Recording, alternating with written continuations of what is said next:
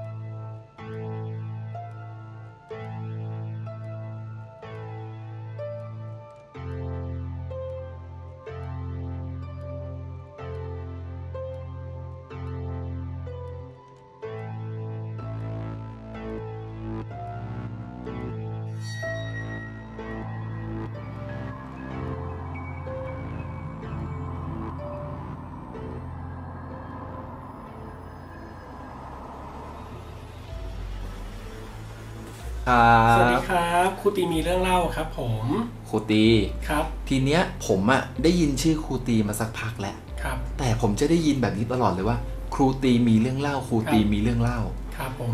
ชื่อนี้ได้มายังไงครับครูอย่างนี้ครับตอนแรกเลย เมื่อก่อนเนี้ยผมทำงานศิลปะเนาะแล้วก็เปิดค่ายศิลปะผมก็จะใช้ชื่อครูตรีครับมาตลอด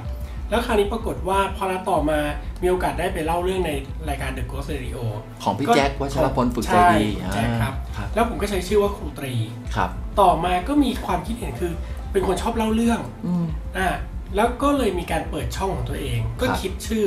จะใช้ชื่ออะไรดีด้วยความที่ตัวเองเป็นคนชอบเล่าเรื่องก็เลย ครูตรีมีเรื่องเล่าแล้วกันอืมก็เลยใช้ชื่อนั้นมาตลอดครับครับ หลังๆนี้เวลาใครเจอก็จะเจอครูตีมีเรื่องเล่าครูตีมีเรื่องเล่า และตลอดนั่นเป็นชื่อที่เป็นชื่อติดหูผมเหมือนกันครูโอ้ยขอบคุณมากครับนะฮะทีเนี้ยวันเนี้ยผมสังเกตเห็นนี่เป็นห้องเปลิงหรือว่าเป็นห้องพระครับเนี่ย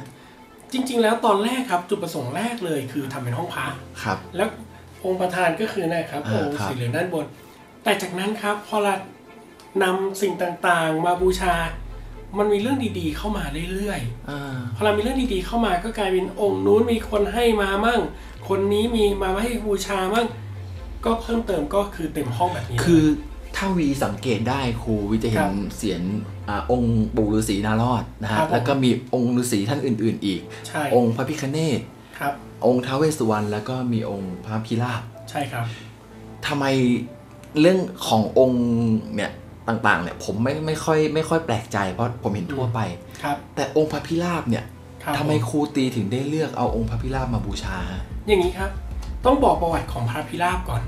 พระพิราบเนี่ยในความเชื่อศาสนาพราหมณ์ จะมีเทพสูงสุดอยู่ทั้งหมด 3 องค์ครับพระพรหมพระนารายณ์พระศิวะ พระศิวะบางที่จะเรียกว่าพระอิศวรนะครับ ท่านจะมีตาที่สามที่หน้าผากอ่าอ่าแล้วคราวนี้ถ้าเมื่อไหร่ท่านโกรธจะมีร่างอีกร่างหนึ่งก็คือพระพิราบ หรือถ้าเกิดเป็นต่างประเทศบางประเทศก็จะเรียกว่าพระไพรลาวะครับนะครับ เป็นพระอีกส่วนร่างโกรธ ซึ่งร่างเนี้ย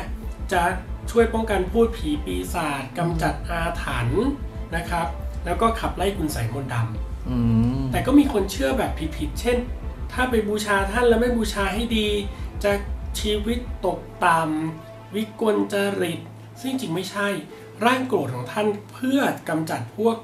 ผีร้ายมาร้ายหรือสิ่งไม่ดี ไม่ใช่ว่าทำร่างโกรธขึ้นมา เพื่อทำอาถรรพ์ใส่มนุษย์ไม่ใช่หมายความว่าเป็นเป็นการบูชาเพื่อสายปัดเป่าสิ่งไม่ดีออกจากเราทั้งนั้นเลยถูกไหมฮะใช่เพียงแต่ว่าพระพิราบถือว่าเป็นองค์เทพชั้นสูง การบูชาก็ควรจะบูชาแบบเป็นเทพชั้นสูง ไม่ใช่ว่าเอามาวางที่พื้นข้ามไปข้ามมาอย่างนั้นก็ไม่ถูไม่กต้องใช่ แล้วทำไม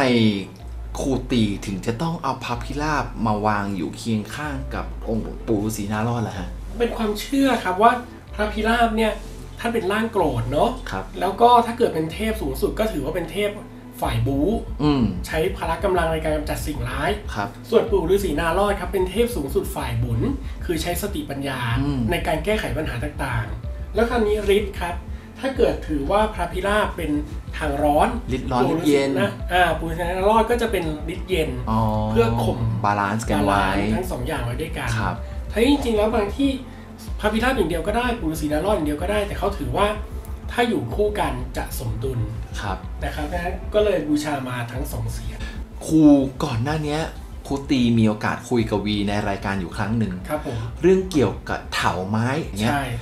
แล้วครูตีบอกว่าครูครูมีอยู่ที่บ้านด้วย ใช่ครับ อันนี้วันนี้เอามาให้ชมด้วยเหรอฮะนะครับ เป็นแบบนี้ สังเกตครับเครือเถาหลงเนี่ย ลักษณะของเถาวันทั่ว ๆ ไป ลายเส้นก็คือจะเป็นแบบเถาขึ้นไปอ่าแล้วก็ลายเส้นอ่าตรงๆ แต่เครือเถาหลงคือเขาจะขดในตัวเขาเองด้วยอื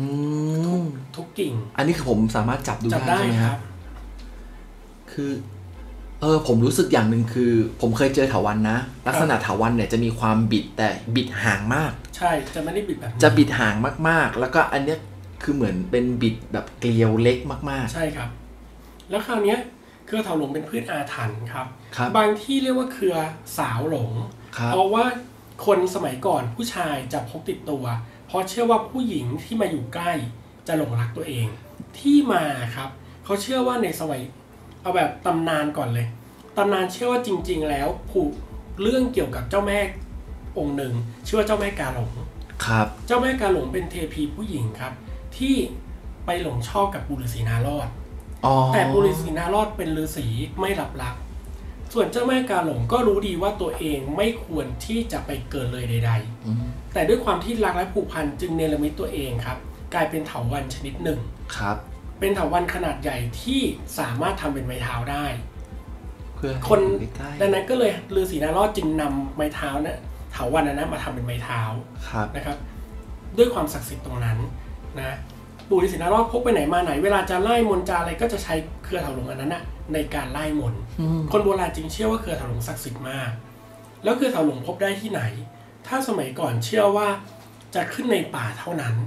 แล้วมันคือทางเข้าของเมืองลับแล ใครก็ตามที่เดินข้ามผ่านนะครับ จะหลงอยู่ตรงนั้น แล้วไปไหนไม่ได้แล้วสุดท้ายเสียชีวิต เพราะว่าเขาเชื่อว่าคนมีบุญเท่านั้น ที่จะผ่านเครือเถาหลงแล้วไปเข้าเมืองลับแลได้อืมเวลาในพรานหรือว่าคนที่มีความรู้จะหาเครือเถาหลงในป่าครับครับเขาจะไม่ได้ดูที่พืช เขาจะดูที่ซากสัตว์ ถ้าตรงนั้นมีสัตว์ตายเยอะ ๆ หรือมีนกตาย เขาเชื่อว่าตรงนั้นแหละ เครือเถาหลงจะอยู่ เพราะว่าขนาดนกบินผ่านข้ามเฉยๆ มันก็จะบินวนอยู่อย่างนั้น ไปต่อไม่ได้สุดท้ายก็ตกลงมาเสียชีวิตครับนะครับดังผมงงอย่างว่าตอนเนี้ยครูตีบอกผมว่าอืมมันเป็นพืชอาถรรพ์ใช่ครับ แต่คนนิยมเอามาบูชา ใช่ มันย้อนแย้งกันไหมครู มันไม่ย้อนแย้งครับ เพราะว่าจริง ๆ แล้ว ด้วยฤทธิ์ของเครือเถาหลงคือทำให้เกิดความหลง จะหลงทางหลงรัก หรืออะไรก็แล้วแต่แต่ด้วยความที่มีอาถรรพ์ จึงต้องมีการแก้อาถรรพ์หรือสะกดเอาไว้ครับนะครับอย่างเครือเถาหลงอันนี้ที่ให้ดูสังเกตนะครับ จะมีอักขระยันต์ครับ ทุกกิ่งทุกก้านเป็นระยะเลยครับ แล้วก็อย่างอันเนี้ยครับที่ผมไปบูชามา จะมีพระสงฆ์ร้อยกว่ารูปฮะในการช่วยกันประกอบพิธี สะกดเอาไว้ เพื่อให้เกิดผลทางบวก ไม่เกิดผลทางลบครับนะครับ ดังนั้นพอเราเปลี่ยนผลทางลบกลายเป็นทางบวกได้ ใครบูชาก็จะเชื่อว่าเวลาผ่านเข้าผ่านทางหน้าร้าน หรือผ่านมาก็จะเกิดหลงรักหรือเมตตา ถ้าเราขายของคนก็จะเข้าเราร้านเรามากขึ้นอืมตามชื่อคือเครือเถาหลง เรียกได้ว่าเครือเถาหลงเนี่ยมีครับผลในทางเชิงเมตตามหานิยมได้ได้ตามมหานิยมถูกต้องครับ ด้านนั้นโดยตรงเลยอืมนะครับแล้ววันนี้ครูตีมีโอกาสคุยกับวีตั้งแต่ตอนเรานัดกันครับว่ามี ของสำคัญชิ้นหนึ่งอยากเอามาพูดคุยกับวีในอืมรายการด้วยครับมันคืออะไรฮะครูนั่นคือสิ่งที่เรียกว่าแมงผู้คำครับ แมงผู้คำผมเคยใช่ได้ยินชื่อ ครั้งหนึ่งเคยมีคนเอามาเล่าให้วีฟังในรายการครับ เฮ้ยน่าจะเกี่ยวเรื่องเกี่ยวกับโชคลาภแล้วก็การหาเงินเกี่ยวกับอะไรอย่างนี้ใช่ถูกไหมฮะใช่ครับแมงผู้คำลักษณะจะเป็นแบบนี้ครับคุณวีโอ้ครัจะบเป็นมาเหมือนแมลงแมงผู้นั่นแหละครับ ครับ ประวัติความเป็นมาของแมงผู้คำคือ กษัตริย์บุเรงนองครับกษัตริย์พม่าครับตรงบัลลังก์ที่พระองค์นั่งจะมีรูปแมงผู้คำอยู่สองตนจะสองตัวสองตรงนี้ฝั่งสองฝั่งของเลยบัลลังก์ใช่อ่าเพราะเขาเชื่อว่าแมงผู้คำเป็นแมงแห่งสติปัญญา แห่งโชคลาภแห่งเมตตาครับ แล้วกษัตริย์บุเรงนอง คนก็ผูกเรื่องบีกว่า จริง ๆ ที่พระองค์ชนะเป็นสิบสิบทิศชนะมาเรื่อยมาเพราะเขานับถือเครื่องรางที่เป็นทำจากแมงผู้คำ ดังนั้นแมงผู้คำในของพม่าครับ เป็นเครื่องรางชั้นสูงเลยครับ แล้ววิชาการปลูกเสกแมงผู้คำก็จะถ่ายทอดให้แค่คนแค่บางกลุ่มเท่านั้นอืมไม่ใช่ทุกคนครับ แล้วการสืบทอดต่อๆกันมา มันก็จะเป็นเฉพาะคนที่เป็นอาจารย์ถ่ายทอดให้ลูกศิษย์แล้วก็ไม่ใช่ลูกศิษย์ทุกคนที่จะได้เรียนรู้จะแค่บางคนเท่านั้นครับ แล้วความเชื่อเนี้ยการปลูกเสกเนี้ยก็เข้ามาจากพม่าก็เข้ามาสู่ไทยนะครับ ที่ผมเอามาให้ดูนี่คือเป็นของครูบาตาลครับครูบาตาลเป็นครูเป็นบาที่อยู่ทางเป็นครูบาที่อยู่ทางเหนือครับแล้วก็รับสืบทอดวิชานี้มาโดยตรงนะครับเพราะว่าต้องบอกแบบนี้ว่าผมได้ยินเรื่องราวเกี่ยวกับแมงผู้คำเนี่ยครั้งแรกก็คือทางเหนือเลยนะ ใช่ครับอ้อคือแล้วจากนั้นความเชื่อนี้ก็กระจายไปภาคอื่นๆแต่ความนิยมและความศรัทธาก็ยังอยู่ทางเหนืออยู่ดีครับนะครับ แต่เขาเชื่อว่าจะดึงดูดให้โชคลาภเมตตามหานิยม การค้าขาย มหาเสน่ห์จะเข้ามาสู่คนที่พกพาครับนะครับ ดังนั้นแมงผู้คำเขาจึงนิยมในการห้อยคอ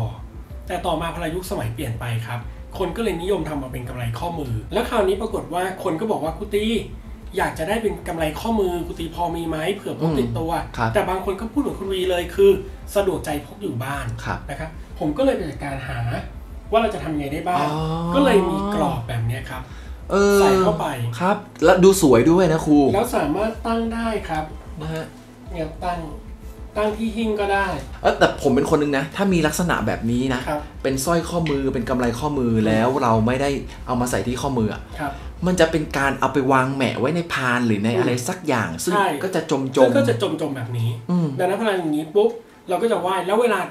อย่างที่ผมบอกครับว่าเวลาห้องพระเหมือนที่ผมไลฟ์สดหลายครั้ง เวลาห้องพระผมจะเข้ามาเพื่อขอพรครับการที่เราเข้ามาเห็นแบบเนี้ยปุ๊บแล้วเรายกมือไหว้เราขอพรมันทำให้ใจเราอะเกิดพลังบวกครับว่าเฮ้ยวันนี้แมงผู้คำนะ ช่วยให้โชคให้ลาบช่วยให้ทำมาค้าขายดีมีกำไร มีคนรักมีคนเมตตาครับนะครับ ประมาณนั้นอืมดังนั้นพอเราเป็นแบบนี้มันก็จะได้ประโยชน์ 2 อย่างคือ วางบูชาในห้องก็ได้ หรือถ้าวันไหน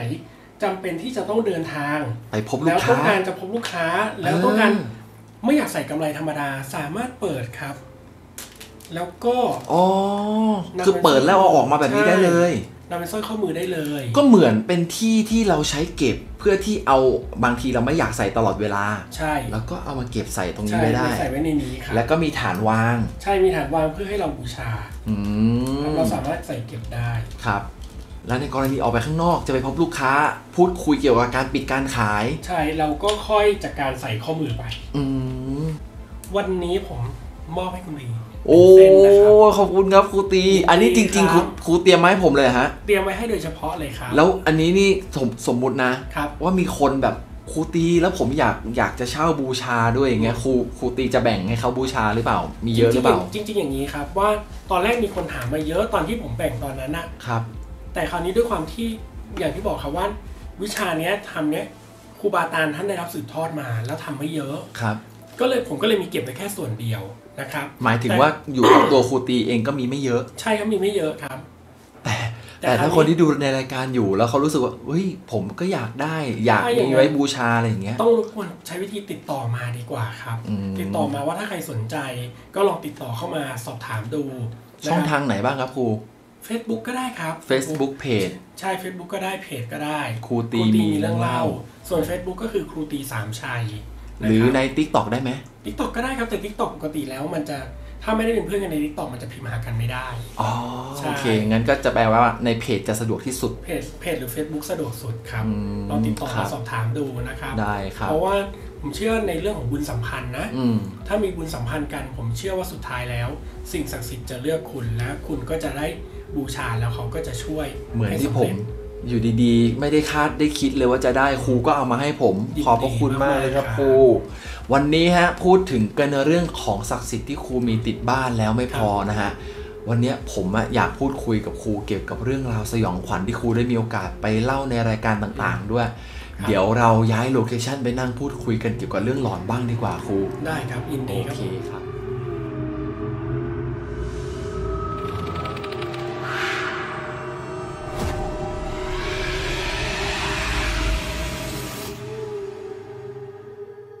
ตีครับก่อนครับอื่นผมวีต้องขอบคุณมาก ๆ เลยครับ ที่เปิดห้องพระไอวีเนี่ยได้เข้ามาดูโอ้โหสิ่งศักดิ์สิทธิ์ภายในบ้านครูตีเยอะมากจริง ๆ ครับคุณยินผู้ชมดีผู้ฟังมากนะๆครัฮะบและที่สำคัญเลยนะฮะวันนี้ครูตีได้มอบแมลงภู่คำให้กับวีนะฮะเอาไปติดตัวบูชาในการที่จะทำงานต่างๆ ให้ลุครับล่วงเป้าหมาย เชื่อว่าสุดท้ายแล้วจะช่วยให้โชคลาภและสิ่งดีๆ เข้ามาหาครับโอ้ยขอบพระคุณมากๆเลยนะฮะแล้วก็ใครอยากได้แมงคุกคำไปครอบครอง ติดต่อครูตีส่วนตัวนะฮะ แล้ววีเห็นแล้วด้วยว่ามีไม่เยอะ มีใช่ไม่ครับ เยอะจริง ๆ ใครจะได้เป็นเจ้าของก็แล้วแต่บุญที่เราเขาเรียกว่าบุญทำวมสัมพันธ์กัใช่ครับ อ่าวันนี้ฮะจะมาคุยกับครูตีแค่เรื่องราวเกี่ยวกับห้องพระ เกี่ยวกับของอาถรรพ์เกี่ยวกับของที่เรามาบูชาคงไม่ได้ฮะ ครับผม ชื่อเสียงครูตีลือเรื่องในเรื่องของการมีเรื่องเล่า เล่าเรื่องราวสยองขวัญ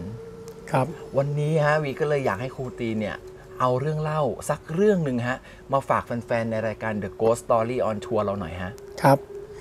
เรื่องนี้นะครับเป็นเรื่องที่ถ้าย้อนกลับไป ก็ใช้เวลาประมาณน่าจะ 8 ปีที่แล้ว 8 ปีก่อน 8 ปีก่อนครับ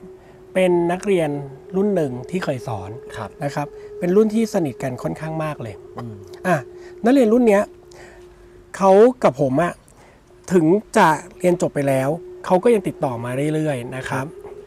ต่อมาพอเขารู้ว่าเราทำช่องเกี่ยวกับเรื่องผีเรื่องหลอนเรื่องอะไรพวกนี้นะเขาก็มีการติดต่อมาพูดคุยกัน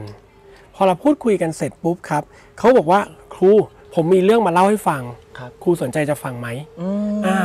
ผมก็บอกว่าอะสนใจนะ จัดให้ฟังหน่อยนะครับ เป็นการตอนนั้นโปรแกรมหนึ่งอะเพราะว่ามันเป็นช่วงโควิดใช่ไหมครับครับ โปรแกรมหนึ่งที่ใช้กันบ่อยๆ คือโปรแกรม Zoom ซูม อ่าเราก็เปิดโปรแกรม Zoom แล้วก็ประชุมดูหน้ากันครับ นะครับ ก็มีเรื่องเล่ามา เรื่องเล่าพวกนี้ผมใช้คำว่าเป็นเรื่องเล่าจากนักเรียนของผมแล้วกัน ครับ เรื่องที่หนึ่งมันจะเป็นเรื่องเกี่ยวกับปั๊มน้ำมันนะครับ ปั๊มน้ำมันอันเนี้ยคนที่เล่าให้ฟังชื่อว่าพีเขาบอกว่าตอนนั้นอะเขาจะไปต่างจังหวัดจะขึ้นไปทางเหนือครับ แล้วคราวนี้เขาก็ขับรถไปเรื่อยๆเขาเลือกช่วงเวลาเดินทางคือตอนกลางคืน อืม จะได้ขับเพราะแล้วมันไม่ร้อนด้วย ใช่แล้วก็ประมาณว่ารถไม่ติด จะได้รวดเดียวเลยเขากะเวลาว่าเขาออกตอนเนี้ยถึงตอนเช้าพอดีก็ไปเห็นบรรยากาศตอนเช้าๆขณะที่เขาขับรถไปมันเกิดการปวดท้องครับ วีปวดท้องอยากเข้าห้องน้ำแต่ก็ใช้วิธีว่าพยายามอดทน พยายามอดทน แต่ถึงจุดจุดๆหนึ่งครับมันทนไม่ไหวจริงอืมๆเขาก็เลยแวะห้องน้ำเป็นปั๊มที่เอ่อ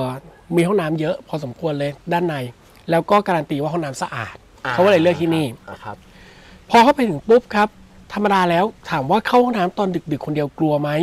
เขาก็บอกก็กลัวนะแต่ปวดท้องมากไม่ไหวไปกับแฟนสองคนจะให้แฟนเป็นเฝ้าหน้าห้องน้ำก็ไม่ได้ กลัวก็กลัวครับแต่ทำยังไงได้สิ่งที่เลือกคือโอเค แฟนรอในรถ แล้วตัวเองครับก็เข้าห้องน้ำไปครับซึ่งห้องน้ำมันจะห้องน้ำของปั๊มเนี้ย ต้องบอกเลยมันจะเป็นเอกลักษณ์คือจะมีฝั่งซ้ายกับฝั่งขวา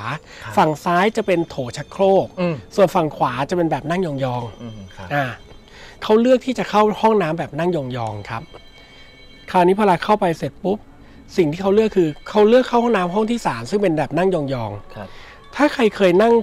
ห้องส้วมแบบเนี้ยครับ มันจะต้องก้าวขึ้นไปในระดับหใช่นึ่งมันจะอ่ายกสเต็ปขึ้นมาอ่านิดนึงใช่เขาก็ก้าวขึ้นไปเสร็จ จากนั้นเขาก็หันกลับมาครับ เพื่อที่ว่าจะลงนั่งยองๆ แต่สิ่งที่เขาเจอคือเขามองไปฝั่งตรงข้าม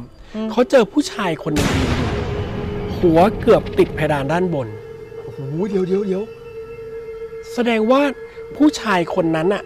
ไม่สูงมากก็ลอยตัวอยู่ หรือไม่ก็ต้องยืนบนชักโครกซึ่งเป็นไปไม่ได้เลยที่ใครจะมายืมชักโครกแล้วจ้องมองเขาแบบนั้นจากฝั่งตรงข้ามเฮ้ย แล้วตอนนั้นนะครับคุณวีลองคิดดูนะ คนที่ปวดท้องมากครับ ๆ จะเข้าห้องน้ำแล้วเจอคนยืนมองจากฝั่งตรงข้าม เออผมก็เลยถามพี่แล้วคุณทำไง ครับ เขาบอกว่าสุดท้ายผมก็ต้องเข้า เพราะผมไม่ไหวแล้วจริงๆโดยที่มีโดยที่มีผู้ชายคนั้นงอยู่ตรงนั้นใช่ แต่เขาตัดสินใจว่าเขาจะทำธุระของเขาให้เร็วที่สุด เออพอเราเขาทำธุระอะไรเสร็จปุ๊บครับคุณวีใส่กางเกงอะไรเสร็จเขาก็ค่อย ๆ แบบ ถึงจะไม่อยากมองแต่เขาพยายามมองฝั่งตรงข้ามดูครับไม่เจอผู้ชายคนนั้นแล้วเขาก็เลยเฮ้ยหรือว่าจริงๆเป็นคน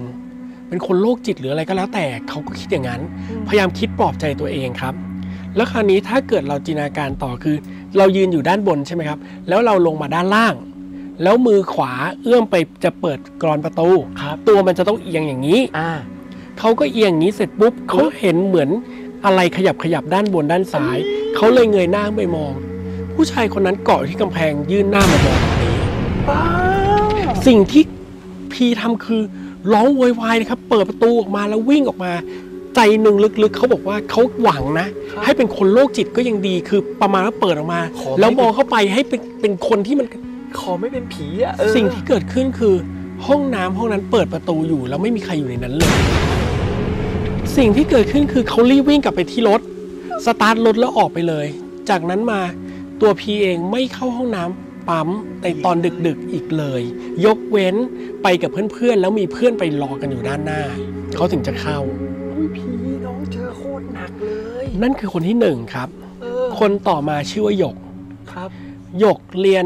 ผมใช้คำนี้การเรียนคณะหนึ่งที่เป็นเกี่ยวกับการวาดรูปครับแต่ไม่บอกมหาลัยและคณะอะไรกัน คราวนี้มันจะมีอย่างหนึ่งวีมันจะมีวิชาที่เกี่ยวกับสเก็ตภาพ แล้วมันจะมีห้องสเก็ตภาพ ซึ่งมันจะมีรูปปั้นปูนต่างเป็นหุ่นเป็นอะไร ๆอ่าเป็นหุ่นปูน แล้วคราวนี้ถ้าคนที่เรียนเกี่ยวกับการวาดภาพจะทราบดีว่า ต่อให้เป็นหุ่นเดียวกัน มันจะมีมุม เช่นมุมเนี้ยเป็นมุมทองคำเลยเฮ้ยวาดแล้วสวย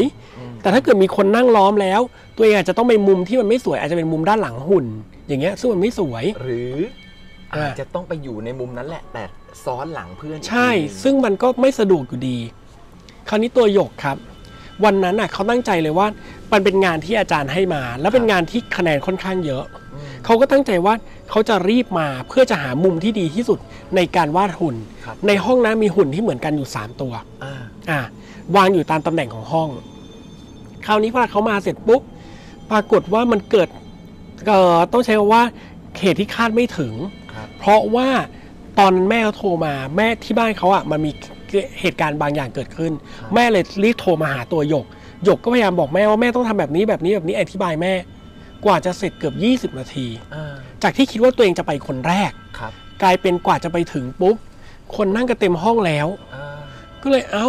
แต่ก็เหลือไปเห็นครับว่ามันหุ่นอะมันมี 3 ตัวใช่ไหมมันมีหุ่นตัวหนึ่งอะอยู่ท้ายห้องตำแหน่งถึงมันจะไม่ดีนักอะแต่ก็ไม่ค่อยมีใครอยากจะไปนั่งตรงตำแหน่งท้ายนั้นอะครับส่วนใหญ่จะกระจุกกันอยู่กลางๆกับหน้าหน้า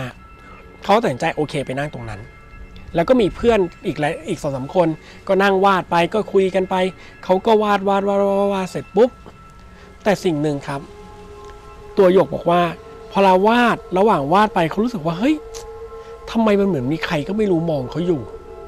อะวาดเสร็จก็เหมือนมีคนเหลือบมองเขาอยู่ เขาก็เลยเหลือบไปมองว่า เฮ้ย เหมือนทางนู้นน่ะมีคนมอง ปรากฏว่าเจอคนคนหนึ่งมองอยู่ครับ แต่เป็นแบบคนที่คุณวีบอกอะ่ะ คือ ถ้าเกิดมุมทองคำอะอาจจะต้องนั่งซ้อนอืมแล้วพอเกิดการนั่งซ้อนปุ๊บ มันก็เลยเห็นหน้าแค่บางส่วนครับว่าจ้องอยู่ ก็ดูไม่ออกไม่ว่าคือใครอ่าพอเราดูไม่ออกว่าคือใครเสร็จปุ๊บ ก็วาดต่อไปครับวาดต่อไป คราวนี้ปรากฏว่าเริ่มวาดสักพักหนึ่งอาจารย์ก็เดินเข้ามาครับคล้ายๆ มาดูความคืบหน้าใช่ไหมครับ มาดูความคืบหน้าเสร็จปุ๊บ อาจารย์ก็ขานชื่อ ว่าใครมาทำแล้วบ้าง เพราะว่าหยกอธิบายเพิ่มเติมว่า คลาสเนี้ยอาจารย์บอกเลยว่าถ้าเข้ามาวาดในวันเวลา อย่างน้อยมันจะได้คะแนนในส่วนจิตพิสัยเข้าเรียน เพิ่มว่าเข้าเรียนอืมอาจารย์ก็เช็คชื่อทีละคน ทีละคน ทีละคนทีละคน สุดท้ายอาจารย์ขานครบ อาจารย์เตรียมจะออกไป ผมก็บอกก็ไม่มีอะไรแปลกนี่โยกโยกบอกแปลกนี่ครู เพราะว่าตอนที่ขานชื่อ จนครบไอ้คนที่มองหยกอยู่มันไม่ได้ยกมือว่ามันอยู่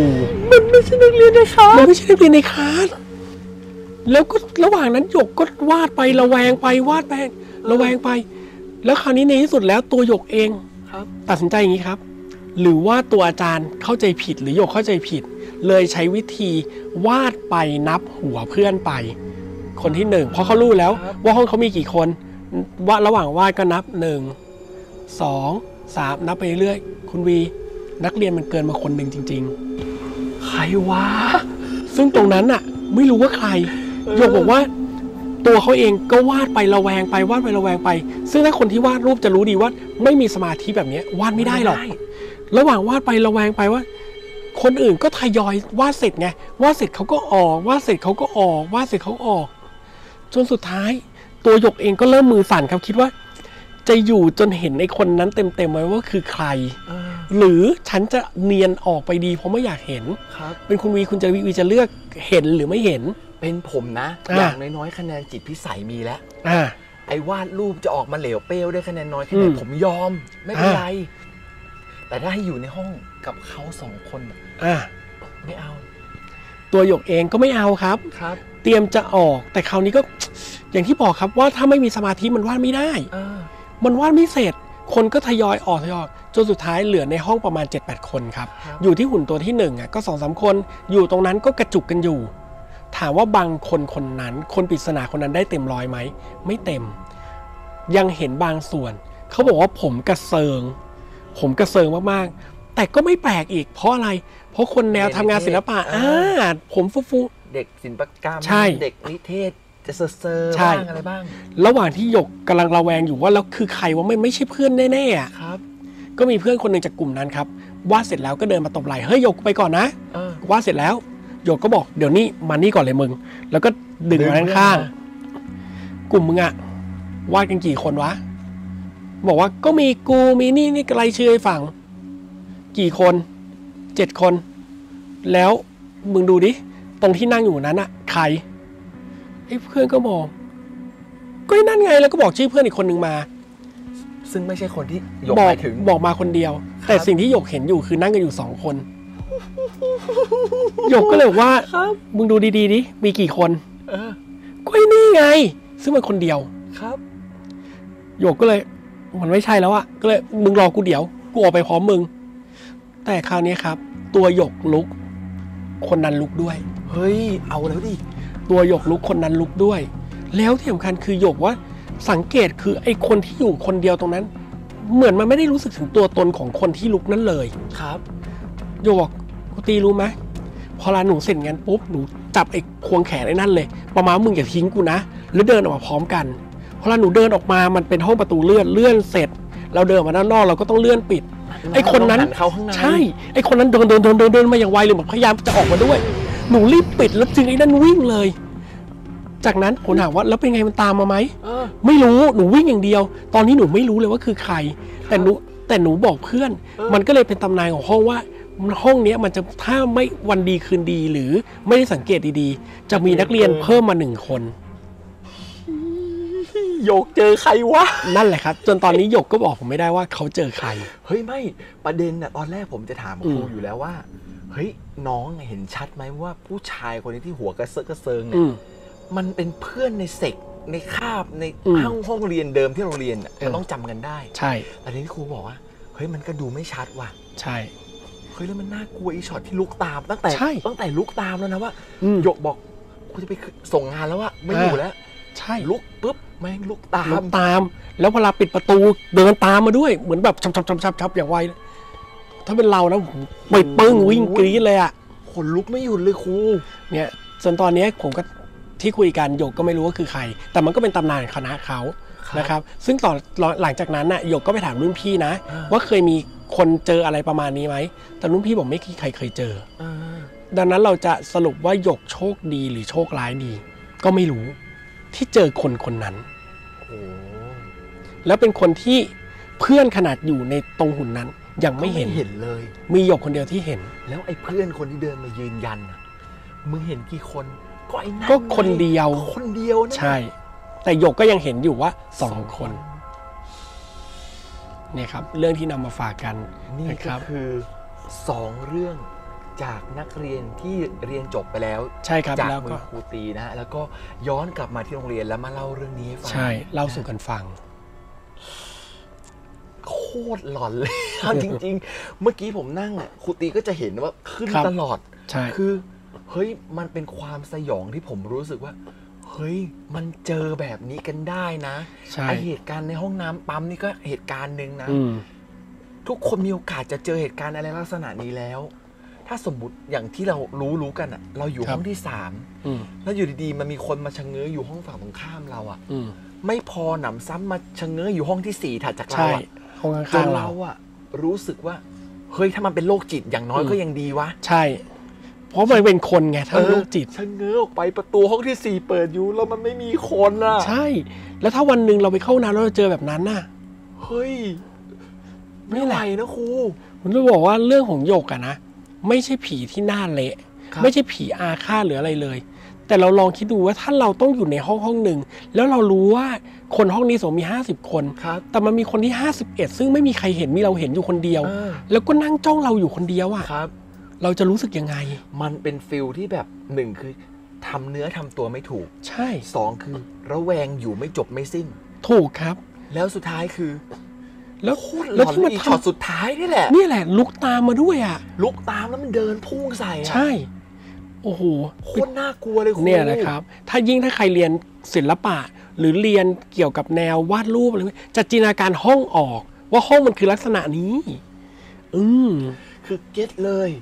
เข้าใจเลยอืมคาบที่ต้องแบบเรียนสเก็ตนะฮะ บางคนสเก็ตเร็วเสร็จอืมแล้วกลับก่อน ใช่ แล้วไอ้บางคนอะที่ skill ยังหรือบางคนมันชอบงานละเอียดมากอืม ๆ ซึ่งผมเป็นไอ้คนนั้นอืมก็จะอยู่ท้ายๆเลย ออกหลังห้องตลอด อืมดินสอไม่คมสเก็ตไม่สวยถูกไหมฮะถูกครับ ใช่ เดี๋ยวเหลาสเดี๋ยวเหลาเดี๋ยวสเก็เหตลาสเก็ตเสียเวลา เออ แต่ พอเงยหน้ามาอีกทีคืออ้าวเหลือ เหลืออยู่สองคนสามคนลงเหลงแล้วอืม แล้วต้องบอกว่าบรรยากาศของห้องสเก็ตเนี่ย มีหุ่นเต็มตัวใช่หนึ่งหุ่นครึ่งตัว มีแค่หัว บางอันมีแค่ครึ่งหัวใช่ แบบครึ่งหน้า แล้วบางทีมันเหมือนหุ่นมองเราอยู่อะแล้วบางทีเอาผ้าคลุมหัวไว้ อ่าแล้วคุณวีลองคิดดูถ้าสมมติว่าเป็นคุณวีนะ ใส่ใจรายละเอียดมากๆ ค่อยๆ สเก็ตทีละนิด แต่เจอใครไม่รู้อะ นั่งมองอยู่ตลอดอะจะสเก็ตได้เหรอ มันมีอีกอันนึง อืม ผมน่ะจินตนาการตามไปทีแรกอะผมตั้งแต่เริ่มฟังครูเล่าแล้วคิดถึงเรื่องการสเก็ตภาพ อืม ไอไอช็อตที่เอาผ้าของผมมาเคยเรียนลักษณะที่เอาผ้าคลุมวัตถุแล้ววาดอืมแสงเงาของผ้าอ่าของผมเนี่ยจะเป็นลักษณะเอาผ้าคลุมหัวของหุ่นไว้ อืม แล้วก็วาด ความรู้สึกอะเหมือน ตัวหุ่นมันไม่ได้ยืนอยู่ในองศาเดิมครู มันหมุนได้ มันหมุนเปลี่ยนองศา ต้องต้องบอกต้องบอกอย่างนี้ท่านผู้ฟังถ้าเกิดเรียนเรื่องศิลปะมาครับ องศาจะมีผล องศาการตกกระทบของแสงมันเปลี่ยนมันรู้เลย ใช่ ถูกเพราะว่าเราสเก็ตอยู่กับมือเราอะโฟกัสอย่างเช่น อยู่ แสงตกกระทบ4ี่ห้าองศาอยู่ๆองศามันเปลี่ยนอะ